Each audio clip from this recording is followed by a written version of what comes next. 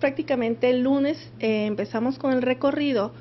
pero estamos alternando porque hay gente que todavía solicitó sus calibraciones, o sea, vino a Profeco y pagó su calibración, entonces tenemos que hacer, tenemos cinco días para hacer las calibraciones, entonces estamos trabajando de manera paralela. Apenas están em, eh, empezando a revisar, sí hubo ayer eh, un, no se inmovilizaron básculas, pero sí hubo una suspensión, que tortillería.